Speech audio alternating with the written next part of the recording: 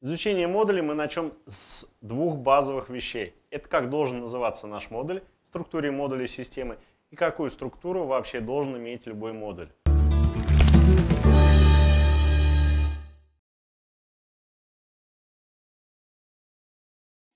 Первое, что вам нужно знать, это каким образом назвать свой модуль, а точнее выбрать его ID.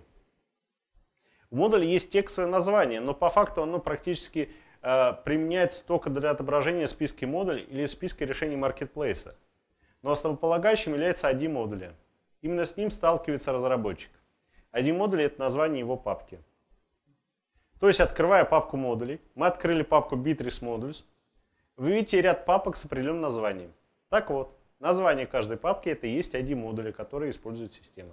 Мы здесь видим модули Forum, iBlock, bittrex.sitepersonal и другие. Разберем, на какие же части делится ID модуля.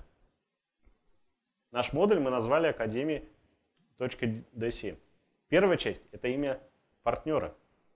Так в системе практически стерто различие между решениями, установленными из маркетплейса и созданными прямо тут на сайте или установленных копированием исходников модуля, то при разработке модуля неважно, разрабатываете ли вы его с прицелом на размещение в маркетплейсе или же будете использовать разово.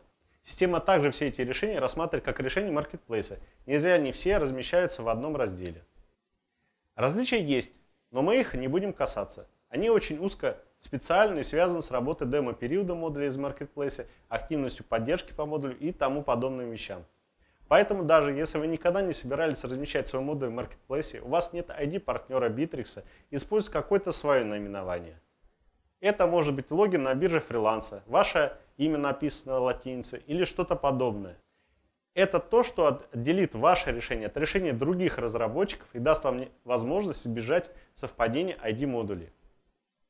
Вторая часть, которая идет после точки, это, собственно, идентификатор самого модуля. Это некоторое наименование вашего модуля, которое может раскрыть его суть. Постарайтесь не использовать очень длинных идентификаторов. Обе эти части дают ID модуля.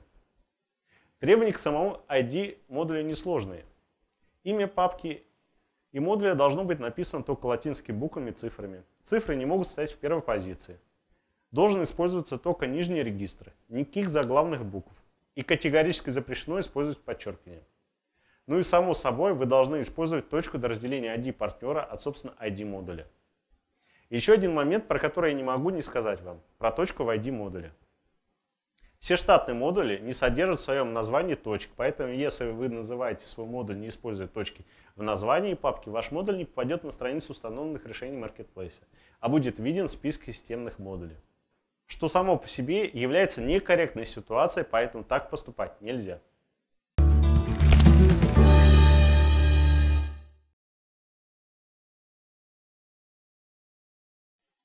А теперь перейдем к структуре. Lib Самым важным нововведением стала именно эта папка. Это папка, в которую вы должны загружать весь код модуля, все классы и методы, которыми обладает ваш модуль. Из этой же папки эти классы автоматически подключаются при соблюдении определенных правил. Данная папка не является обязательной, если вам ее функционал не требуется. То есть, если у вашего модуля нет собственных методов. Далее все папки и файлы уже были в структуре модуля на старом ядре, но они также используются и при написании модуля на новом ядре D7. Install – это самая важная папка в модуле. Отсюда Bittrex берет информацию о модуле, здесь же находятся все файлы и папки для установки удаления модуля. Index.php – основной файл модуля, в котором находится код установки и удаления модуля, а также определяются основные параметры. Version.php – обязательный файл, в котором хранится номер версии модуля, который не должен равняться нулю, и дата выпуска последней версии модуля. Step.php и Unstep.php эти файлы не обязательно, да их названия могут быть иными. Но по негласным правилам лучше файл имена именно так, или добавляя после имени файла еще числовой индекс. Эти файлы используются для пошаговой установки и удаления модуля соответственно. О них позже я подробнее расскажу. Папка админ. Здесь вы можете разместить файлы, которые при установке перемещаются в папку Bittrex admin. Учтите, что файлы, размещенные здесь, не должны содержать самого кода для админки модуля а только код подключения такового файла. А сам код должен лежать в папке в корне модуля. DB – каталог, в котором вы можете поместить при необходимости scale-файлы, которые будут выполняться при установке модуля. Обратите внимание, что такие файлы нужно размещать не в самой папке DB, а в подпапке с именем базы, в нашем случае MySQL. Папка Components, пространство имен, имя компонента. Если у вас есть компоненты модуля, то их нужно скопировать на свои законные места при установке. Поэтому они хранятся в папке install, в подпапке Components. Также все прочие сущности, которые вы куда-то копируете, запускаете и так далее при установке, вы должны размещать в папке install. Админ. Еще раз вернемся к папке админ. Кроме исполняемых файлов админки модуля, здесь еще можно разместить несколько файлов. Меню PHP, файл административного меню модуля, Operation Description PHP, файл с описанием операций для расширенного управления правами доступа, Task Description PHP, файл с описанием уровней доступа до расширенного управления доступом, Lang, ID языка, ну и, конечно, классически, не забываем про папку с языковыми константами. Они размещаются в корне папки модуля, а в них уже языковые файлы с языковыми константами, которые повторяют структуру модуля. Единственное, там можно не размещать те файлы, которые не содержат языковых констант. Include PHP в старом ядре являлся важным файлом. В нем подключались все файлы с библиотеками классов модуля. В новом ядре его значимость упала. Данный файл подключается при инициализации модуля при выполнении скриптов сайта.